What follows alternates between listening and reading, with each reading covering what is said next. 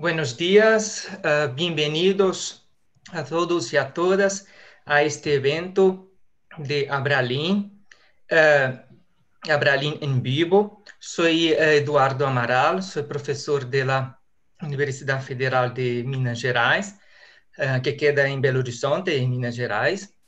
Y en este momento vamos a empezar una charla, una ponencia con la profesora Madalena Kohl. En primer lugar, uh, me gustaría agradecer a Bralin por la invitación, especialmente a los colegas Miguel y a la colega Raquel, uh, que, que, me invitó particularmente. Y también, uh, en nombre de Abralin, me gustaría agradecer a la profesora Magdalena Cole por haber aceptado la invitación. le agradezco mucho, Magdalena. Bueno, uh, como saben ustedes, el evento Abralin Vivo o Linguistics Online. Constituye una iniciativa de Abralin, la Asociación Brasileira de Lingüística, en colaboración con otras, uh, con varias asociaciones internacionales, entre las cuales están uh, el Comité Internacional Permanente de Linguistes, la Asociación de Lingüística y Filología de América Latina, la Sociedad Argentina de Estudios Lingüísticos, la Sociedad Española de Lingüística, la Linguistic Society of America, la Linguistics Association of Great Britain, la Australian Linguistic Society y la British Association for Applied Linguistics. Uh, es con mucho gusto entonces que eh, empiezo a presentar a la profesora Magdalena Kohl, uh, a quem conheci no ano 2006, quando eu em la Universidade de São Paulo. Uhum. Uh, em aquele momento, a professora dictava um curso sobre história do espanhol uhum. e la conheci nesse nesse entonces. Bueno, uh, a professora Madalena Kohl é licenciada em Linguística por la Universidade da República de Montevideo obtuvo el doctorado en filosofía del programa de lengua y literatura hispánicas uh, de la Universidad de California y uh, es profesora del Departamento de Psico y Sociolingüística del Instituto de Lingüística de la Facultad de Humanidades y Ciencias de la Educación de la Universidad de la República en Uruguay. Actualmente, además, integra el Grupo de Estudios Lingüísticos Históricos del Uruguay y el Grupo de Investigación en Terminología y Organización del Conocimiento de la Universidad de la República. Entre sus publicaciones uh, destacan Una historia sin fronteras, léxico de origen africano en Uruguay y Brasil, compilado junto a Laura Álvarez López en 2012. También Documentos para la Historia del Español en el Uruguay, volumen 2, cartas personales y documentos oficiales y privados del siglo XIX, en coautoría con Virginia Bertolotti y Ana Clara Polakov, publicado en 2012 también. Y él habla de los esclavos africanos y sus descendientes en Montevideo en los siglos XVIII y XIX, representación y realidad, publicado en 2010. También Madalena Kohl tomó posesión de su plaza de académica de número de la Academia Nacional de Letras de Uruguay el 28 de mayo de 2015 con un discurso titulado Paisaje lexicográfico de Uruguay de fines del siglo XIX. Él contestó en nombre de la corporación el profesor Adolfo Elisaicín. Bueno, uh, voy a pasar entonces la palabra a la profesora eh, y agradezco también a todos que están participando. Pueden dejar las preguntas y al final eh, las paso a la profesora Madalena Cole. Bueno. Buen día, Eduardo. Este, muchas gracias. Este, ¿Se escucha bien, no? ¿Me escuchas bien? Sí, sí, sí, escucho. Bien. Entonces, por supuesto, mi agradecimiento a ti por, por, por esta, moderar esta mesa, también a Bralín, que está gestando y gestionando un, un ámbito de intercambio académico muy rico en un momento muy especial, este, así que nos puso en contacto a, mucha gente eh, desde la lingüística y otras disciplinas afines, que ha sido realmente muy, muy positivo. Em, para llegar acá a esta conferencia, este, siempre está el impulso de gente cercana que, bueno, que promueve que uno trabaje de esta manera. Entonces quiero agradecerle eh, a Ana Clara Polakov, a Virginia Bertolotti, a Clara Pérez, que me, bueno, me ayudaron a, armar esta presentación o a pensarla o a animarme a darla. Entonces lo que voy a hacer, Eduardo, es compartir la pantalla con el PowerPoint. Vamos a ver si eh, sale todo bien.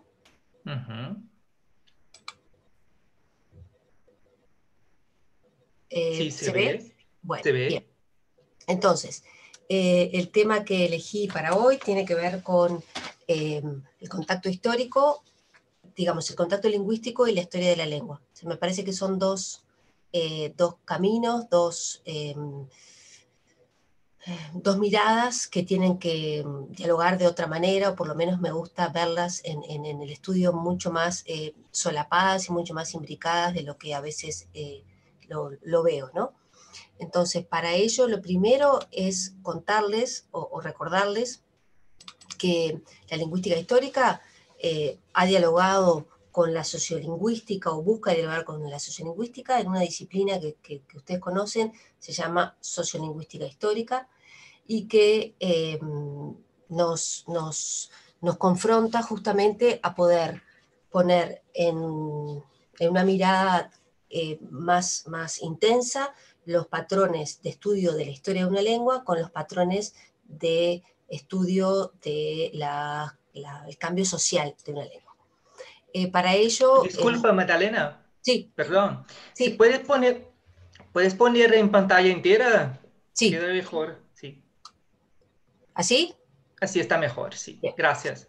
De nada. Entonces, este, para hablar de sociolingüística histórica, lo, primero que tenemos que hacer es pensar en Susan Romain, que ya en la década del 80 le da nombre a esta disciplina o esta mirada, que tiene que ver con eh, la capacidad o la intención de reconstruir un lenguaje, pero teniendo muy en cuenta el contexto social y los, los, resultados, los avances de una disciplina como la sociolingüística.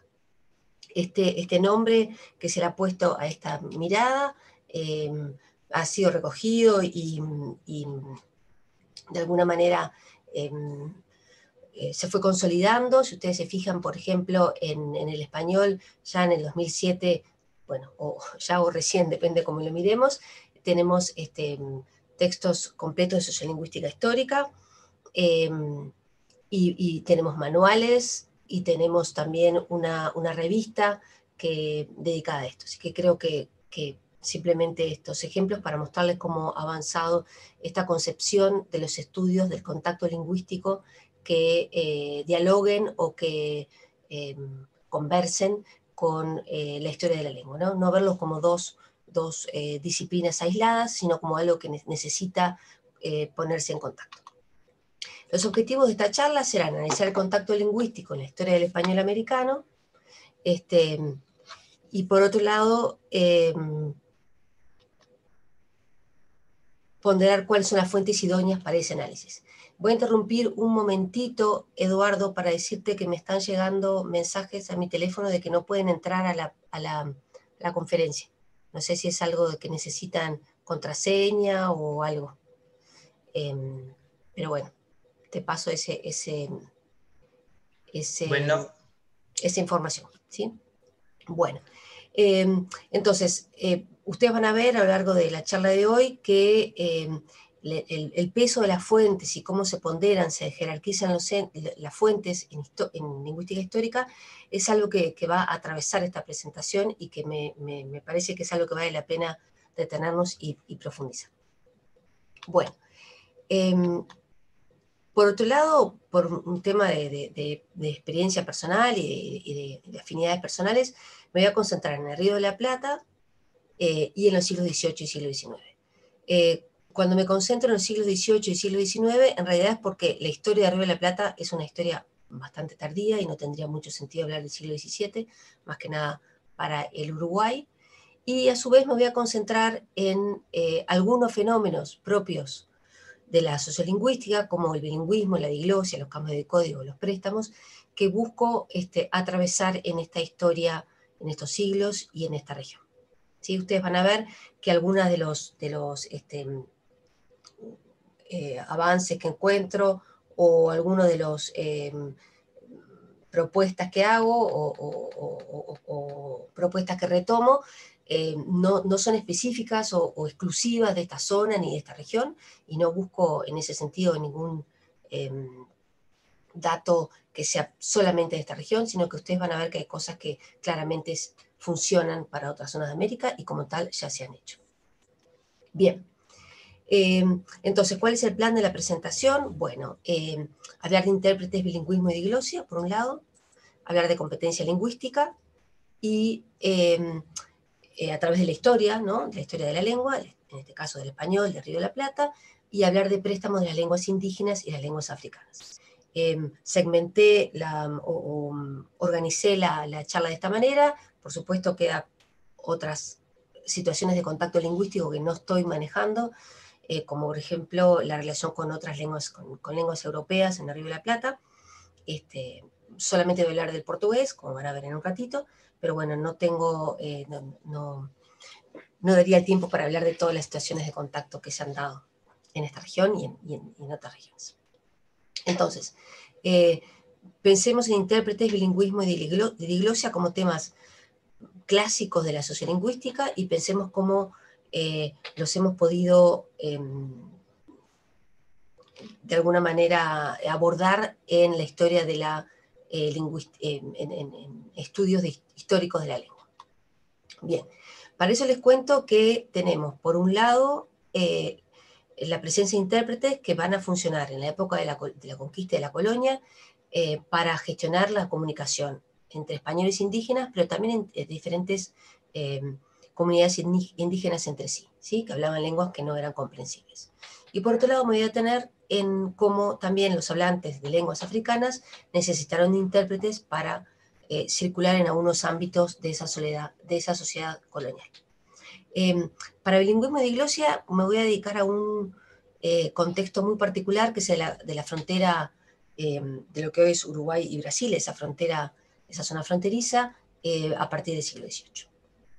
Entonces, em, los intérpretes. Ustedes saben que las leyes de Indias están de alguna manera eh, en, ellas están incluidos el derecho que tienen los indígenas a tener intérpretes en situaciones eh, de juicio, de, situaciones, digamos, de lo que sea, se puede llamar la ciudad letrada.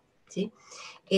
¿Cómo lo encontramos en el Río de la Plata? Bueno, eh, hay, esto, la fuente clásica para esto es ir a los juicios, donde, en los que participen personas de origen indígena, eh, que están involucradas en estos juicios por diferentes razones y que tienen que declarar. La manera en que esas personas declaran, o la lengua que esas personas declaran, o la no lengua en que esas personas declaran, nos hablan también de eh, la circulación de lenguas, de diferentes lenguas en ese momento.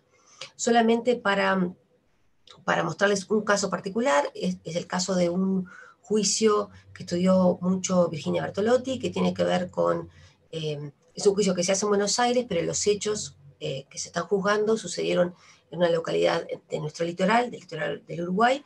Eh, intervienen este, diferentes personas de diferentes origen, orígenes indígenas y rescato, por ejemplo, pasajes como este.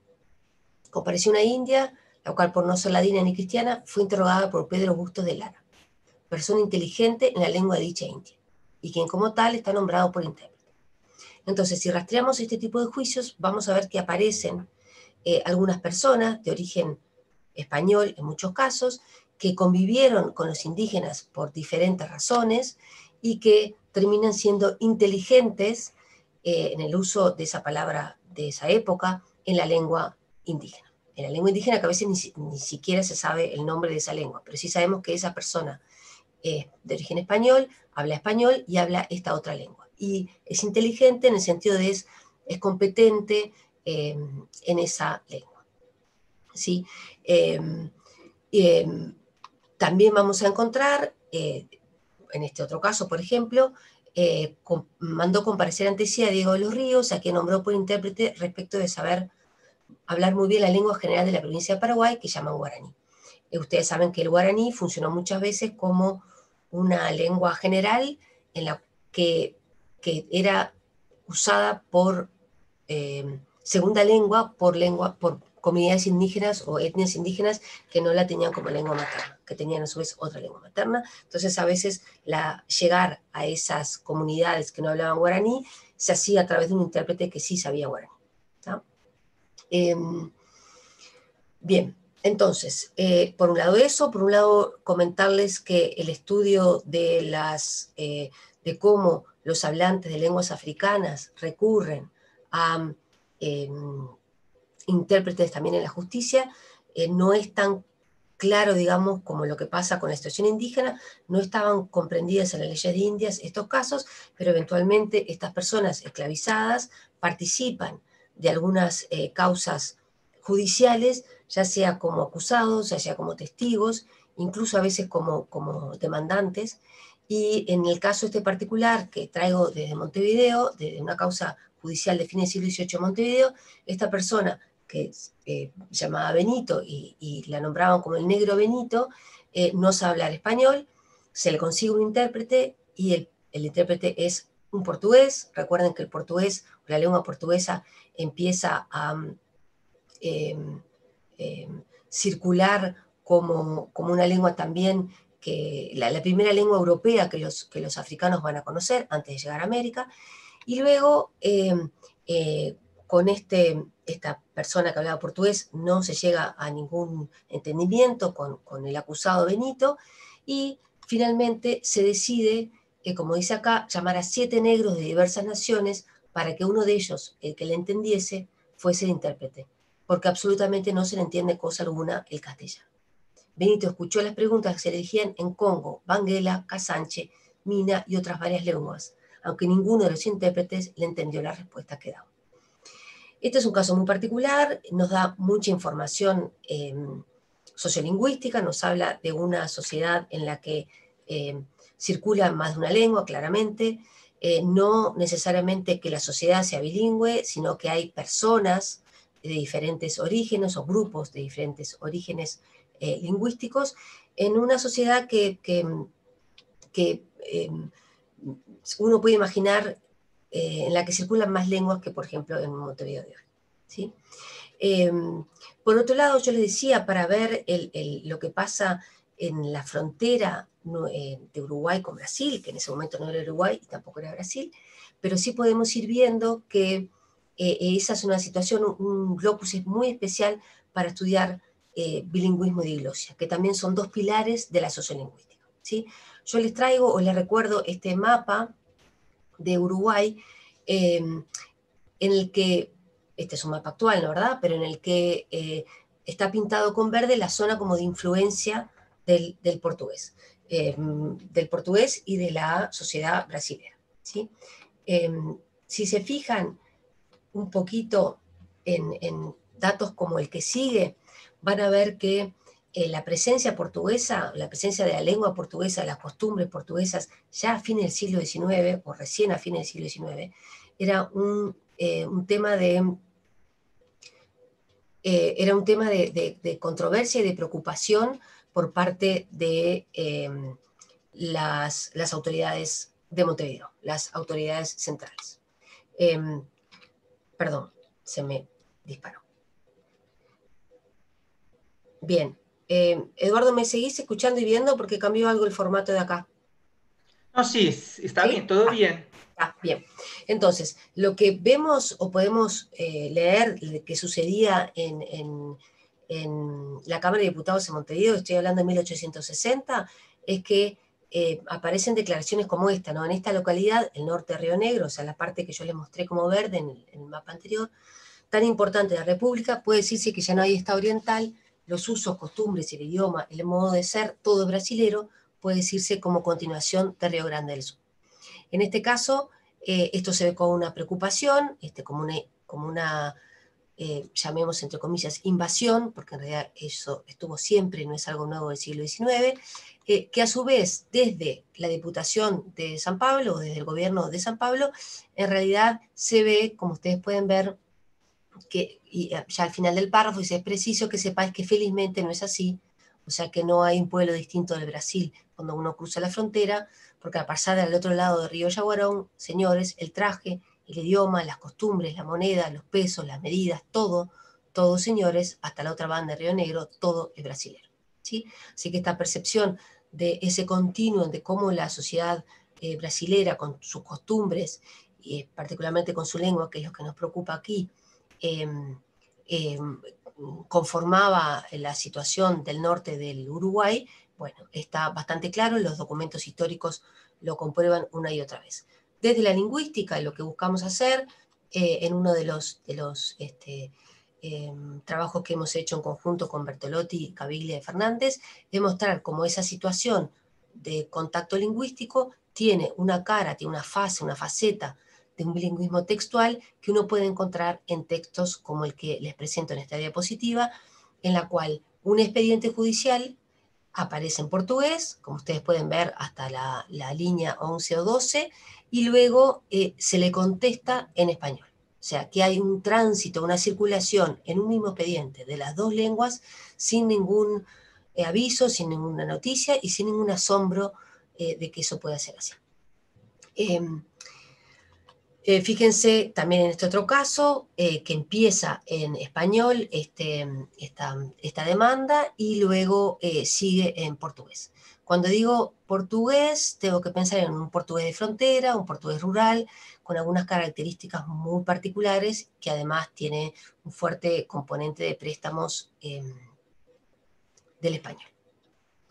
Em, en este sentido, en el ámbito judicial, que, que que, en esos juicios, ¿no verdad? Hay diferentes, este, participación de diferentes personas, esa toma de turnos puede darse tanto en español, tanto como en portugués, incluso aislado en el tiempo y, sin mayores inconvenientes. En este momento, eh, estamos hablando del siglo XIX, fin del siglo XIX, eh, la justicia uruguaya, porque era Uruguay, la justicia uruguaya podía este, tener participaciones de diferentes actores sociales en portugués. Eso no estaba eh, ni prohibido ni penalizado en, ese momento. Aunque después sí, claramente se hizo. Eh, en cartas personales también encontramos esa, esa comunicación, ese bilingüismo, ese, esa, esa presencia de las dos lenguas. Eh, fíjense que en este caso, esta carta personal empieza en portugués y ya como por la mitad dice, este, los negocios del gobierno de Agua penan, pero la maldita marcación, y esa persona pasa al español, aunque bueno, después vuelve al portugués, no, no, no son cortes necesariamente abruptos, pero sí está claro que conviven las dos lenguas. En, recetas de cocina también pasa que, y simplemente les muestro esto para ver diferentes fuentes o diferentes maneras de llegar a, a entender ese bilingüismo o, ese contacto profundo de estas dos lenguas. En este tipo de, receta de cocina va a ser eh, incluso difícil separar qué partes están en portugués y qué partes están en, español. ¿no? Eh, por leer alguna cosa, fíjense en la línea 7 eh, o 5, en pástese todo junto o todo junto, no sé, porque no sé cómo se, se, leería, tírase con el rollo, todo eso parece bastante español, hasta quedar del grosso de un cobre, se cortase redondo latas untadas con mantega, eso ya no parece tan español, móllanse con agua y se pasa pronela forme kenchi, bueno, ven que es algo em, en que las lenguas están em, íntimamente eh, conectadas. Bien, también vimos eh, que en publicidad, en prensa, y esto otra vez para mostrarles las diferentes fuentes y cómo eh, todas, o, todas nos, ayudan a entender esta situación de contacto lingüístico. Fíjense esta eh, publicidad que aparece en el siglo XIX en la, zona, en la ciudad de Rivera, que es hoy fronteriza con, Brasil, y hay una parte de esta publicidad que está en español, Olé Salero vive a la gran zapatería del señor Cresci, eh, y después pasa al, portugués, viva Cresci, o zapatero más barateiro, de un mundo entero, etc. Eh, y después sigue en español. O sea que el mismo anuncio, la misma publicidad puede eh, tener, puede manejar las dos lenguas con cierta alternancia. ¿sí? Esto también nos hizo pensar y nos, nos hace cuestionarnos desde la sociolingüística histórica cómo manejar estos casos con rótulos como el, em, cambio de código. eh, cuando a veces el español y el portugués, que son lenguas tan emparentadas, nos encontramos con palabras que no sabemos realmente si, si esa persona está evocando el español o el portugués. Hay algunas em, situaciones más claras o por lo menos eh, más, más puntuales, como esta, por ejemplo. Le ruego el especial servicio de conseguir con el general Aparicio para que me respeten con mi personal y caballos en calidad de un tropero una portaria, o portaría, ¿no? un salvoconducto. Acá parece claro que la situación está dada en español y se introduce este, una voz, bueno, eh, un sintagma en, portugués. Pero en otros casos no es tan fácil hablar de cambio de código porque las separaciones no son tan nítidas, ¿sí? Cuando estudiamos eh, dos lenguas que están tan emparentadas. También pasa que ese, mismo bilingüismo se ve en un contacto a nivel de, sintagmas. En estos documentos que les mostraba hemos recogido a lo largo del tiempo, vamos a encontrar eh, sintagmas del tipo ganado vacuno, ¿no? que muestran el contacto en sí mismo, ¿no? O sea, porque no dice ni ganado vacuno, ni gado vacuno. Tampoco dice eh, bienes muebles, ni bens móviles. Hay una, una, una, mezcla, un contacto muy íntimo en ese sintagma, o mangueiras de palo, también no dice mangueiras de pound, ni mangueras de palo. Entonces ahí también eh, podemos encontrar otra manifestación del contacto muy intenso. Em, en ese sentido, hemos encontrado formas híbridas eh, como nazón en vez de nación o nación, que son las que ustedes, si son profesores de español eh, para um, luz hablantes, van a ver, son formas de compromiso que también las usan los em, hispanohablantes cuando hablan portugués. Y también vamos a ver en este mismo, eh, en estos tipos de documentos, otros tipos de fenómenos, como son los calcos lingüísticos. En este caso vamos a encontrar em, moneda flaca, em, que, que en realidad es un calco, una traducción sintáctica de moneda fraca, porque en español claramente diríamos moneda flaca. Bien, eh, perdón, moneda débil, ya hice yo misma el propio, eh, la propia mistura. Em, y simplemente para terminar el capítulo de, cómo hemos podido estudiar fenómenos de contacto en la frontera eh, históricamente, cuando vemos este bilingüismo en la frontera en el siglo XIX, vamos a ver que no hay una diglosia a fines del siglo XIX, eh, o, por lo menos no hasta fines del siglo XIX. ¿Por qué? Porque en el ámbito público se puede hablar, escribir tanto en español como en portugués, y en el ámbito privado, que en las sociedades bilingües diglósicas está eh, reducido o limitado, o es el ámbito donde se da, em, se usa solamente la lengua eh, que no es de prestigio, aquí se usan las dos, tanto el español como el portugués, porque ninguna de las dos lenguas parece estar en el siglo XIX excluida de un dominio particular no hay un valor estigmatizado del portugués, cosa que sí va a suceder para fines del siglo XIX y que se va a consolidar eh, claramente en el siglo XX. Bien, eh, entonces eh, nuestra hipótesis es que en este momento, en el siglo, fines del siglo XIX o segunda mitad del siglo XIX, hay un bilingüismo sin... Bien, otro, como yo les decía al principio de la presentación, otro de los rasgos que nos em, interesaba, que nos, parece que la lingüística histórica tiene cosas para decir, eh, tiene que ver con la competencia lingüística de, estos, de estas personas que viven en otra sincronía, ¿no? Cómo estudiarla, cómo saber qué lenguas hablaban. En este caso particular, o, cómo, las hablaban. En este caso particular nos concentramos en em, la competencia lingüística de los africanos esclavizados, porque tenemos una manera de llegar una fuente para llegar a través de los anuncios de esclavos que, nos ha eh, habilitado esta posibilidad de estudiar este tema en particular. Em, fíjense que aquí nosotros usamos una serie de anuncios de esclavos que, han sido históricamente usados por la antropología, por la sociología y también por la, por la propia lingüística, eh, que nos dan información em, muy particular sobre eh, qué hablaban estas personas traídas como esclavos de África.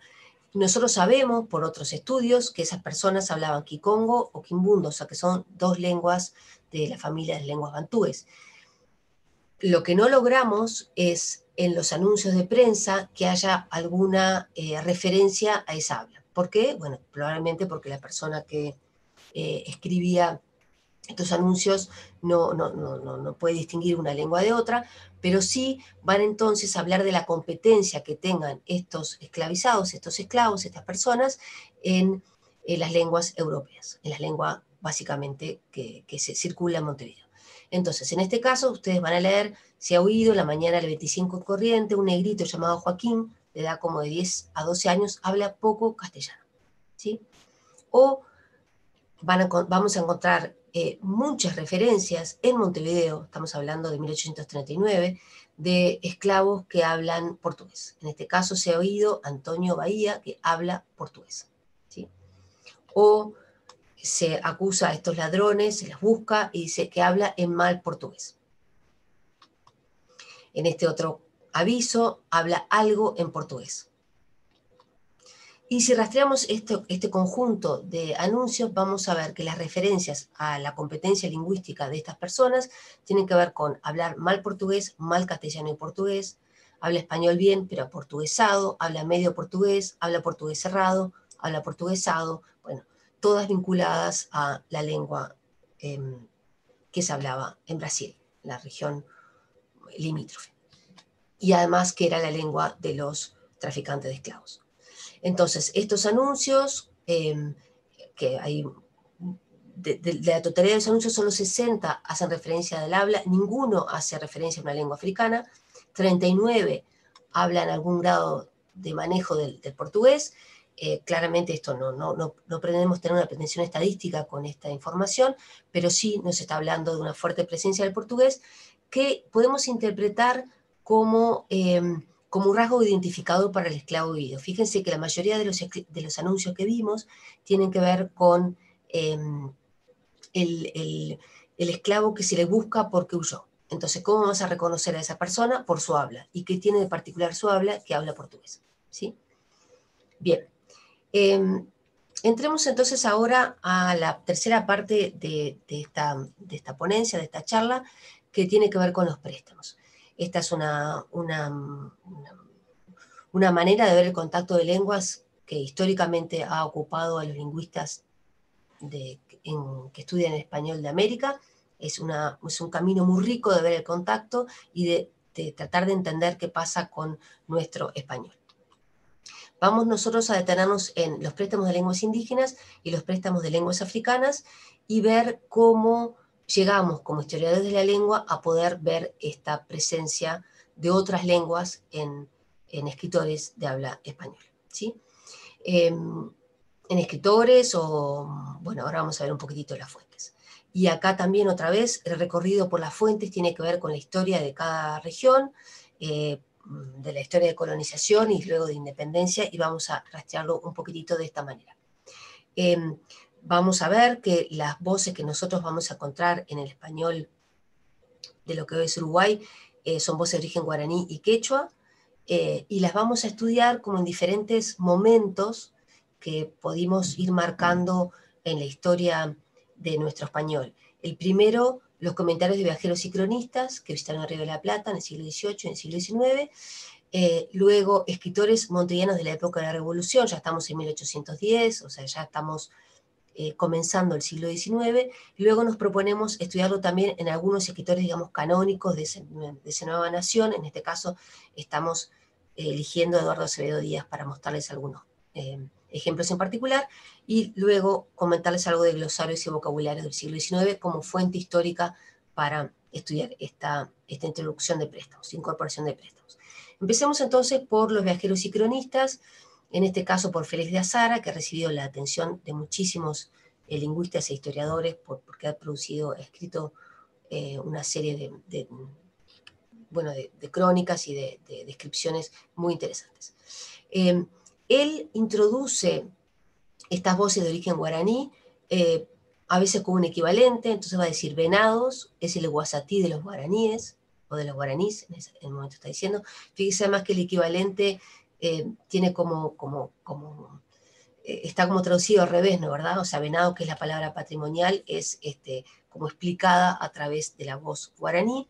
A veces introducen con aclaraciones etimológicas, Paraná Guazú, de Paraná o Paraná, Mar o Gran Río, etc., este, que son maneras de ir integrando estos préstamos a los escritos de esta persona. Em, cuando, perdón, cuando avanza un poquito el tiempo y ya estamos comenzando el siglo XIX, encontramos a dos exponentes de esta nueva época, esta nueva época, que son eh, Pérez Castellano y Damaso Larrañaga, son dos, sacerdotes eh, que bueno, tienen esa formación eh, humanista que lo lleva a escribir un, montón de, diarios, observaciones, descripciones, algunas por encargo, otras este, por su propia curiosidad, eh, también diarios de viajes, bueno, es un corpus bien rico y también muy estudiado en Uruguay. Em, algunos rasgos o algunos aspectos podemos encontrar en sus escritos, por ejemplo, voces del quechua, ¿verdad? Em, que están de alguna manera apareciendo en estos textos eh, sin, em, sin mayores introducciones y con una idea de que el lector está entendiendo lo que es. Eh, otros en tanto, con cuero se hicieron pelotas con el pelo dentro, formando unos cuatro picos recogidos en huascas y dejando plano, y me explica lo que son huascas, es decir, que entiende que el lector eh, va a conocer esa palabra. Eh, bien, del guaraní también, ñandubay, ombús, tacuarí, andaí, siempre voces del, del mundo de la naturaleza, en este caso del mundo vegetal. Lo que sí vamos a encontrar en estos escritos es como una inestabilidad ortográfica y fonética eh, importante.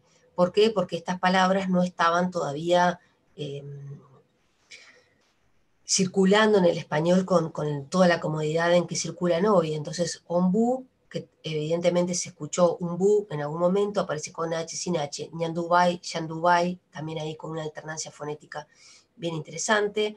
La estoy leyendo, eh, por otro lado, en español en español eh, mío del siglo XXI, ¿sí? no, no, podría decirles que se dijera Yandubai en ese momento, es probable que se dijera Yandubai.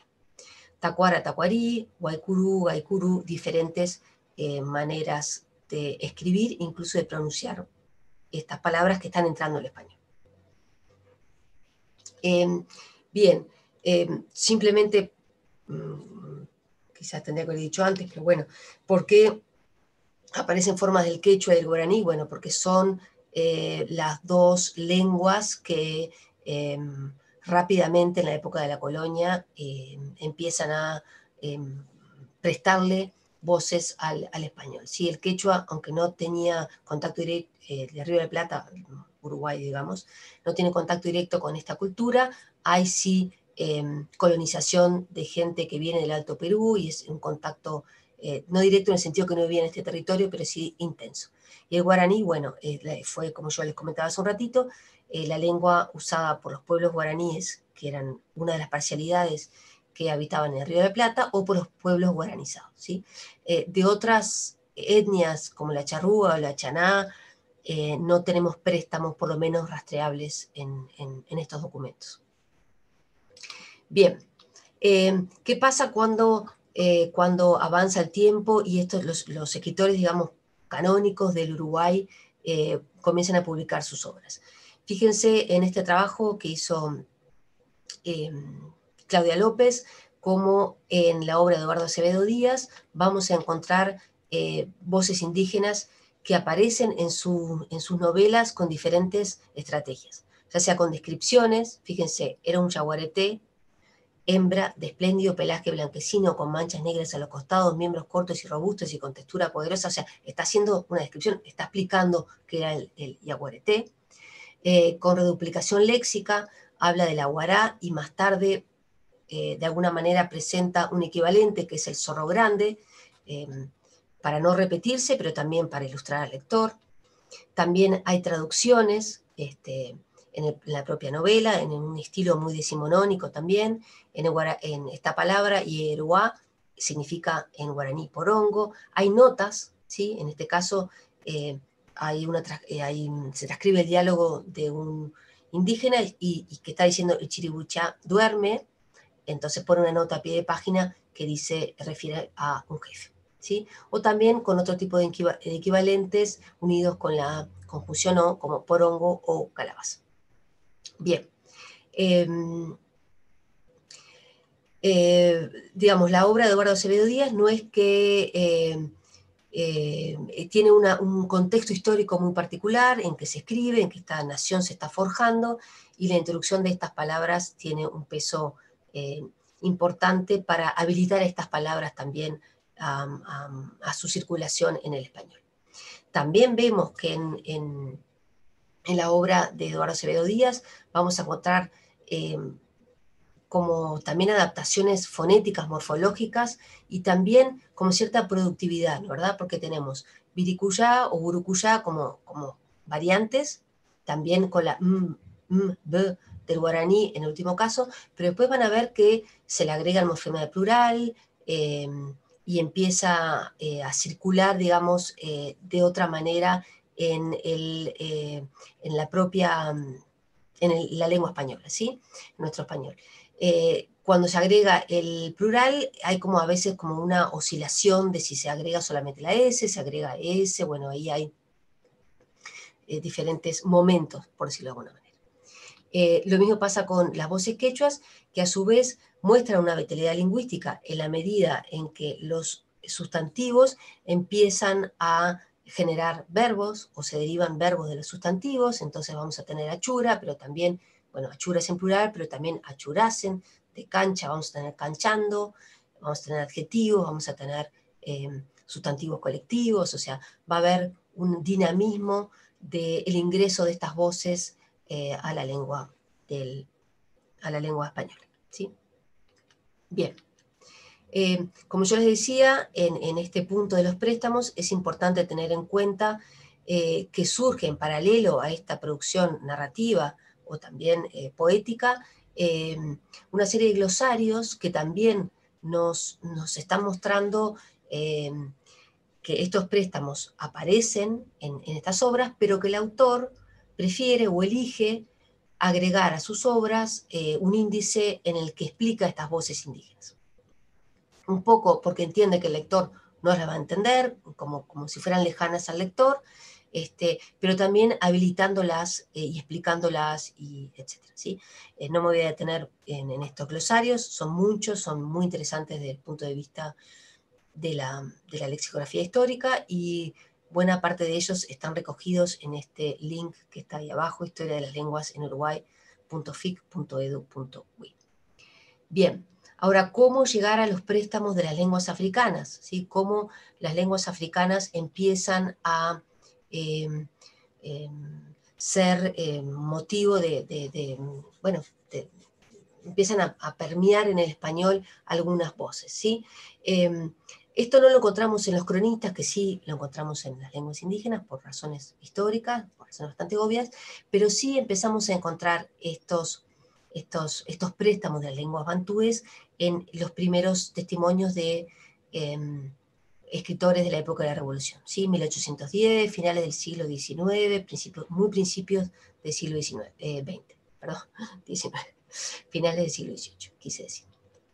Bueno, en este caso este, acá tenemos a, Pérez Castellano, que ya habíamos visto para las lenguas indígenas, que introduce eh, una palabra como cachinga, que después era cachimba, o, que reconocemos hoy como cachimba, dice, porque debajo de la arena hay un asiento de barro negro glutinoso que vicia el agua cuando el fondo de los que llaman cachingas, en que los aguadores reúnen el agua, tocan ese barro sin hacerse, etc. Y explica. Entonces, de alguna manera, eh, introduce la, la palabra eh, y con un contexto explicativo. ¿sí? También en lo que se ha llamado textos de habla vozal o escritos que reproducen el habla de las personas esclavizadas, aparecen eh, en, en, imitación al habla de los esclavos, aparece léxico em, em, de origen africano. ¿sí? En este caso les seleccioné para mostrarles eh, la Ley de Libertad de Vientres y la Constitución, que está escrito por Francisco eh, Antonio Figueroa, imitando esta habla eh, bozal, ¿sí? Bozal, otra vez entre comillas. Entonces vamos a ver palabras como candombe, después este, etnónimos como Camundá, Sánchez, Cabinda, Manguela, Moyolo. Eh, vamos a encontrar voces como Mandinga, Malungo, Mushinga o Musinga eh, a lo largo de ese poema. Eh, también se puede ir viendo que algunas de estas palabras, como mandinga, son, están vigentes en nuestro español, pero malungo, musinga no. O sea que también me parece, y estamos trabajando en, ese sentido con, mi colega Laura Álvarez, este, que hayan aparecido estos préstamos no quiere decir que ese préstamo se mantenga en la sociedad. Lo que podemos hacer es datarlo, pero no necesariamente rastrearlo de ahí hasta la actualidad.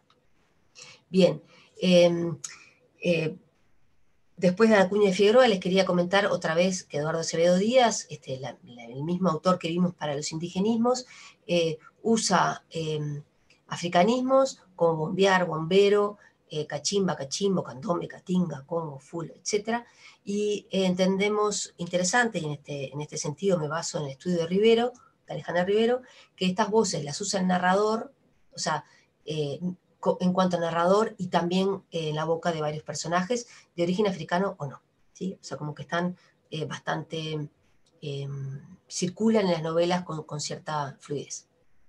Bien, em, lo que veo, o lo que, lo que he visto en estos préstamos o con, estos, con, esta, con este rápido recorrido de esta última parte de los préstamos, es que las fuentes muestran diferentes estrategias de adaptación de estos préstamos a lo largo del tiempo. Ustedes van a ver que hay inestabilidad gráfica en un momento, pero eso se va perdiendo, que las glosas ya no se van a ir necesitando, que la productividad derivativa va aumentando. Hay como diferentes indicios que nos llevan a mostrar cómo estos préstamos em, se van consolidando. Este no es un proceso lineal porque puede que un escritor eh, tenga inestabilidad gráfica, aunque sea un escritor eh, más moderno, pero sí básicamente estos son rasgos o son variables que nos, nos permiten em, ver cómo esos préstamos se van este, consolidando en, la lengua.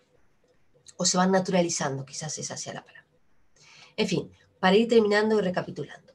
Los objetivos de esta presentación habían sido analizar el contacto lingüístico en la historia del español americano, ¿sí? o sea, que tratar de combinar los postulados de la sociolingüística con los postulados del estudio de la historia del español, eh, ponderando en cada caso cuáles son las fuentes idóneas para ese análisis. Me parece que el, lingüista histórico tiene que basa su análisis en la elección de fuentes, en, la, capacidad que tenga de elegir las fuentes apropiadas para estudiar cada uno de los em, rasgos que decide investigar.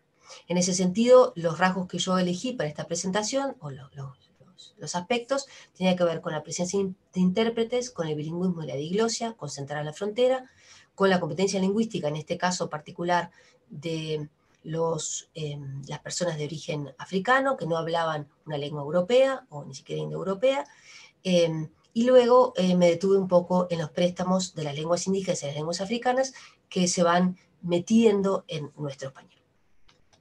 ¿Qué les puedo decir en síntesis? Bueno, que que voy a insistir, eh, y me parece mm, que es de rigor, que la lingüística histórica se vincule fuertemente con estos aspectos del contacto lingüístico, que no haya eh, eh, dos caminos necesariamente en paralelo, sino que el diálogo sea más, más, más profundo.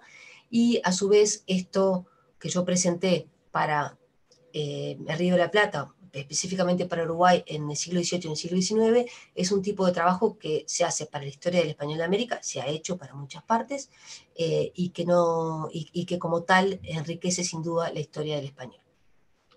Eh, por otro lado, hacerles eh, hincapié en la elección de las fuentes, por nombrarles algunas o por, o por sintetizar algunas, en los eh, escritores de época, anuncios de esclavos, archivos judiciales, representación del habla del otro, en este caso usamos la representación del habla de los africanos, las recetas de cocinas, las cartas personales, todas las fuentes van a tener un valor eh, particular en función del fenómeno de contacto a estudiar. Y ahí me parece que la, riqueza, eh, no necesariamente de la diversidad de lenguas, sino de fuentes, sino de poder buscar en cada fuente el, tipo de mm, aspecto sociolingüístico que nos parece pertinente. Y para terminar, eh, una, me surge algo que quiero compartir con ustedes, es que visto estas, esta, esta, situación, surge la necesidad de, pensar que los corpus que nosotros armamos para estudiar la historia de la lengua tienen que tener un espacio para que sean corpus de convivencia o de testimonio de convivencia lingüística, como em, anuncia Martinel, en el sentido de que, eh, por lo general, eh, lo que uno hace cuando trabaja conformando un corpus es que si encuentra algo de otra lengua, lo saca, ¿sí? porque lo que uno está haciendo es estudiar el español y tiene todo el sentido del mundo hacer eso, pero también quizás podría haber como un subcorpus o no sé, este, diferentes mm, herramientas para llegar a no perder eso, ese otro material de contacto, para no perder toda esta información que está en la historia de la lengua y que enriquece el español. Y bueno, por acá estamos llegando entonces al final. Eh, acá están las referencias. Em, que son las que yo eh, nombré. Y bueno, finalmente, muchas gracias a todos. Entonces, Eduardo, te paso eh, la palabra a ti. Bueno, gracias, Magdalena. Muchas gracias por la presentación. Eh, tenemos algunas preguntas y ahora podemos seguir con un diálogo de preguntas y respuestas, si te parece bien. Perfecto. Sí. Bueno, eh, aquí tengo una pregunta de, Ana Clara Polakov que dice, uh, ¿se ha intentado hacer una comparación con el portugués de frontera actual? Eh, lo hemos intentado, pero no dio lo que más nos gustaba, digamos, no, dio lo que queríamos que diera. Este, esos documentos que nosotros vemos como de contacto lingüístico, no, no podemos encontrar como una... Eh, no le podemos hacer seguimiento hasta llegar a los dialectos del portugués que se hablan hoy en la frontera. En algún lugar, eh, con la participación de la escuela y con cambios históricos, este, no, no es lo mismo. Este es un, portugués como, em, con otras características de, este, del siglo XIX con respecto al, portugués ahora. De todas maneras, es un campo que, tenemos que, que, seguir estudiando porque, bueno, porque eh, ese contacto tiene diferentes capítulos y bueno, este, para eso eh, ya les voy diciendo que se necesita gente que sepa mucho portugués. Este, así que bueno, bienvenidos todos aquellos que quieran aportar en ese sentido. Bueno, me parece que fue en ese sentido eh, que también Ana Clara pregunta qué hace que un término se mantenga hasta la actualidad y otro no. ¿Hay algún tipo, clase de palabra que tenga más presencia o frecuencia ¿Se, ha eh, estudiado por tipo de palabra, por clase? Sí, eh, por lo general los préstamos, los que siempre vamos a contar, los primeros van a ser los sustantivos, ¿no? Y después de los sustantivos pueden derivarse otras cosas o, aparecer primero un verbo. Em, a ver, por ejemplo, eh, ¿por qué desaparecería un préstamo? Porque desaparece la, realidad. Esa es la primera, la primera, lo primero que se me ocurre. Uno de los préstamos del, de lenguas africanas, bombero, ¿sí? que en portugués es pombeiro. Eh, ese bombero significaba espía, eh, era la persona que iba en la avanzada de una expedición o de una tropa o lo que sea. Esa realidad así como tal no, la tenemos, entonces también eh, esa palabra cae. otras palabras de origen, este, de origen africano, como los etnónimos, o sea, no haber más tráfico de esclavos y esas, esas personas de ese origen étnico no aparecer más, tampoco se, mantiene, ¿no? Y después hay palabras que, tienen un reducto histórico, o sea, que, las seguimos usando en la escuela cuando vemos cosas vinculadas a esa época colonial, pero no, pero no esa realidad no, la tenemos más, ¿sí? Eh, cuando un, préstamo eh, compite con el español, por ejemplo, ahí cuando vimos Zorro Grande, y ahora no me acuerdo cuál era el nombre, este, puede convivir los dos perfectamente. Sí. No, no, no hay ninguna razón, una razón, digamos, para que una palabra se pierda y, otra no. Más allá de esta, de, esta más clara, ¿no? Bueno, también tiene que ver con si se estigmatiza una lengua, entonces, bueno, eh, todas las palabras que vengan de esa lengua se estigmatizarán. Pero, pero se ha hecho ese estudio de eh, qué cantidad de, voces se mantuvieron o no, eh, comparando, no, no. Cuantitativamente no, en términos eh, numéricos no. Este, mm. no yo, yo, no conozco, este, quizás las haya, pero no. Los, los, trabajos que yo he leído, incluso escrito, son siempre más descriptivos, no cuantitativos. Ah, bien. Eh, hay una pregunta ahora de Glenda que dice, ¿hay tribus o comunidades indígenas en el Uruguay actualmente? ¿Existe algún deseo deliberado de mantener las voces indígenas en la lengua? Sí, este, hay este, grupos este, autoidentificados como descendientes de, charrúa, de, la etnia charrúa, que, bueno, que tienen una relación con, la lengua charrúa y con sus antepasados, que pasa también por la lengua y tienen em, em, esa relación que le estoy diciendo, pero no, yo no encuentro históricamente préstamos del charrúa, ¿sí? Eh, y no tenemos en este momento, no, no, no, no, no ha quedado este, eh, poblaciones guaraníes en nuestro país. ¿Sí? Eh, la, población charrúa este, fue muy castigada, exterminada, o por lo menos con, con, intención de exterminio en, en, Salsipuedes. Este, pero bueno, está estos grupos de descendientes charrúas que, que bueno, que, que buscan eh, reconstruir y revivir y un montón de, buscar un reconocimiento a su, a su, cultura. Sí. Un reconocimiento. Sí. Bueno, eh, durante, durante la charla eh, hablaste sobre varias voces indígenas y africanas. y quería saber si hay algún estudio también respecto a cuestiones morfológicas o morfosintácticas, si en alguno de los documentos eh, se puede identificar cuestiones morfológicas o morfosintácticas de lenguas africanas o de lenguas indígenas.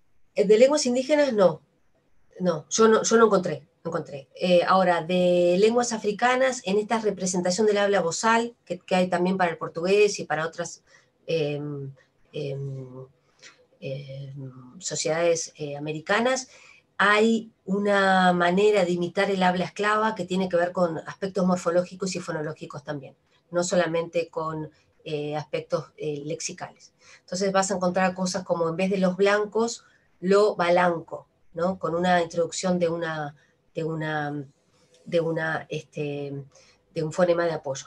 Y en términos morfosintácticos, este, va a haber eh, falta de concordancia de género, o sea, algunos aspectos muy puntuales que están reproduciendo, que están como mostrando todo ese habla vozal, no solamente, digamos, en, en, el léxico, sino también en una estructuración eh, morfosintáctica. Pero, insisto, no es el habla de los esclavos, sino la representación del habla de los esclavos. Entonces es como una fuente indirecta que hay que em, usar, por supuesto, pero me parece con, algunos, este, con algunas limitaciones. Lo, lo que tiene... Sí, Eduardo. Preguntaba por la cuestión de la concordancia de número.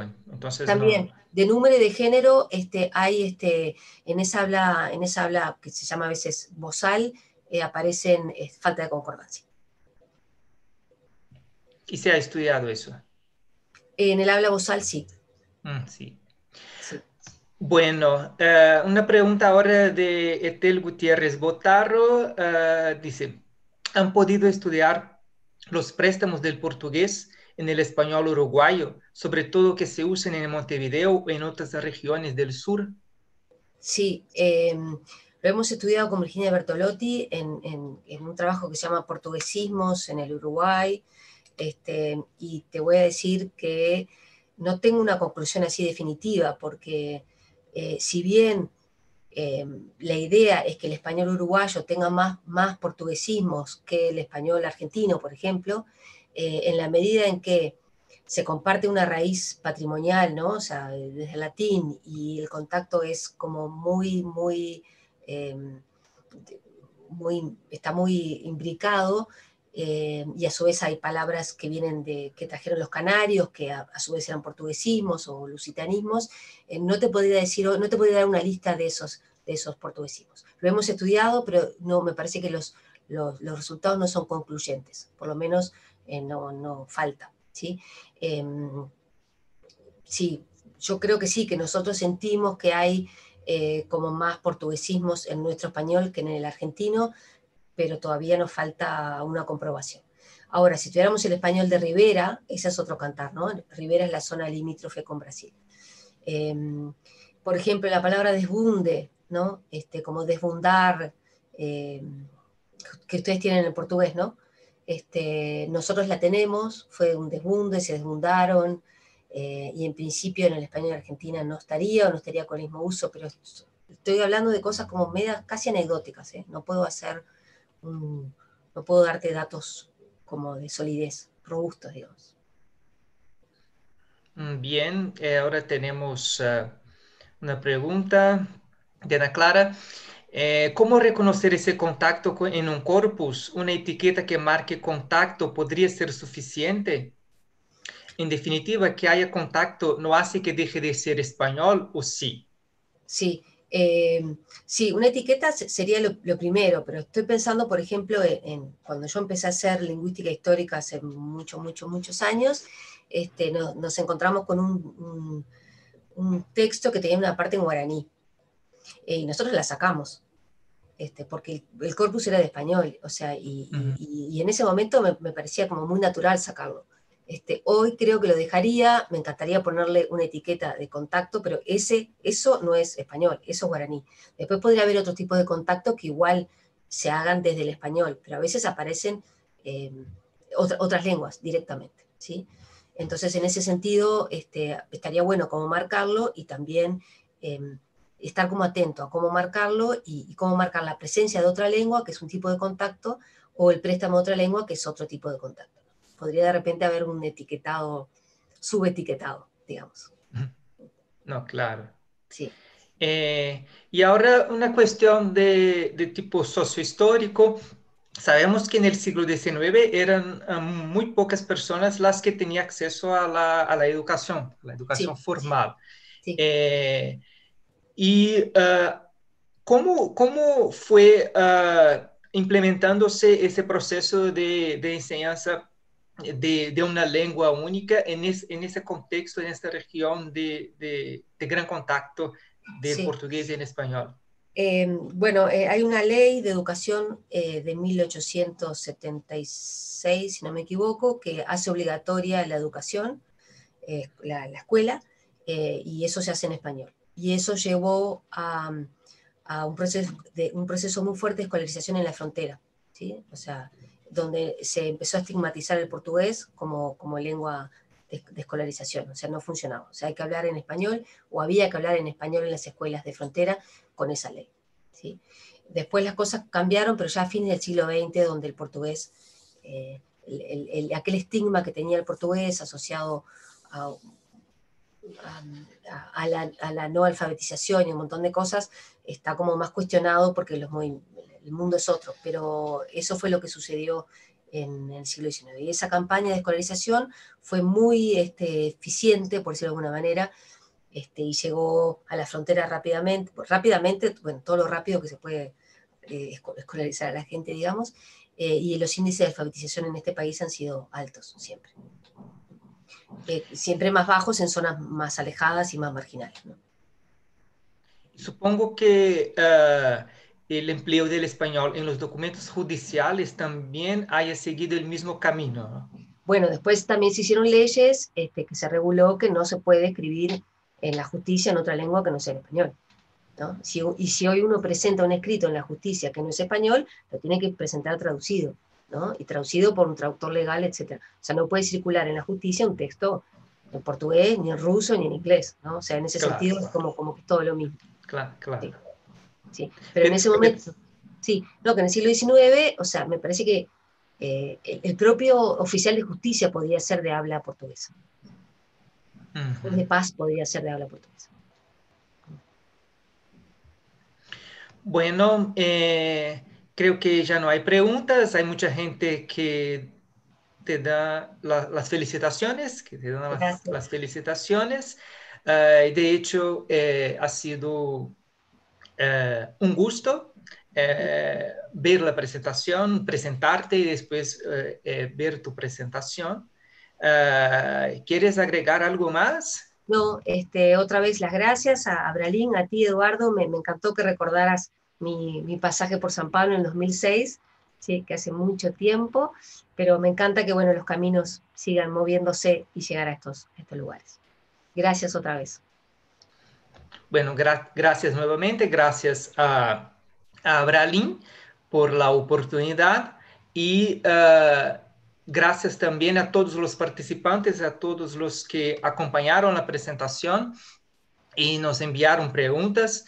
Y uh, les uh, recuerdo que la, las presentaciones de Abralin siguen durante, durante todo el mes y procuren acompañar lo que, lo que estamos haciendo. Bueno, muchas gracias y hasta la próxima. A todos. Hasta la próxima. Hasta luego.